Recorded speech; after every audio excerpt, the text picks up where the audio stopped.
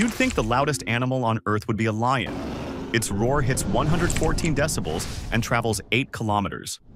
Or maybe the blue whale, whose underwater calls reach 188 decibels.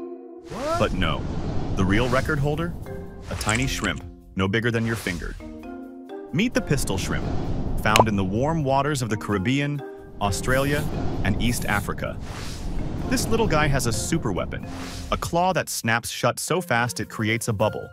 Inside that bubble, a mini explosion. Temperatures rise to 4,700 degrees Celsius, almost as hot as the surface of the sun. And the sound?